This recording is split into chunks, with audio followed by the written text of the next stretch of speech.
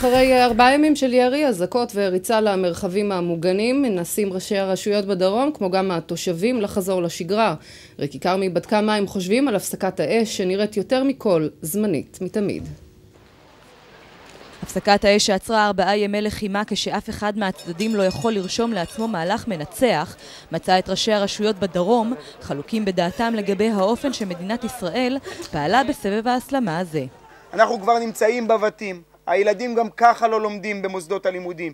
אם אנחנו נחמיץ, אם אנחנו נפספס את הסבב הזה, אני חושש מאוד שנמצא את עצמנו בסבב נוסף בעוד מספר שבועות או בעוד מספר חודשים. אני לא סבור שצריך היום להיכנס לפעילות רגלית אה, ברצועת עזה. הפתרון הוא להמשיך להכות בהם באופן כירורגי כמו שעשו כאן. פשוט מורידים להם את כל בעלי המקצוע. יש עוד הרבה פתרונות שהם יכולים להעלות את סף ההרתעה שלנו, שלפני שהם יורים טיל, הם יודעים שבמקום הטיל הזה נגרמים להם כאלה נזקים עצומים שהם לא יעשו את זה שוב. התושבים ניסו במהלך היום לחזור לשגרה, אבל אף אחד מהם לא חי באשליות. מאוד מאושרת, למרות שאני לא הביא את הילדים שלי עדיין לבאר שבע. אני אישית רגילה לזה שיש רגיעה לכמה שעות, אבל אחרי זה זה תמיד חוזר. אני לא גר פה, אני עובד פה, אבל אה, זה מפחיד, תשמע.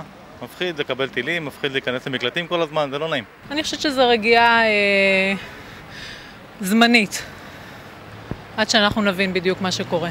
מצד שני, היו כאלו שבירכו על הרגיעה, שמאפשרת קצת חיים נורמליים. צריך לחזור לשגרה, אה, צריך כיוון לילדים, שיהיה להם מסגרת, ואני חושב שהרגיעה הזאת אה, סבירה ו...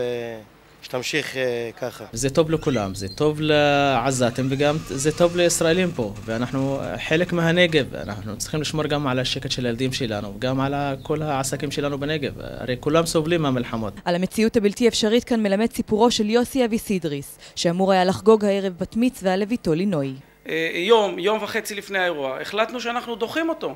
אין לנו ברירה. זה קשה להודיע לכל החברות וטלפונים, וזה גם מבאס להודיע לכל החברות, אבל הם שמחו בגלל המצב הביטחוני שקשה להגיע במצב כזה לאירוע הזה, לאירוע הזה מלחיץ. 17 שעות וחצי חלפו מאז החלה הפסקת האש, אבל דבר אחד אין מחלוקת. השקט, גם אם זמני, טוב לכולם.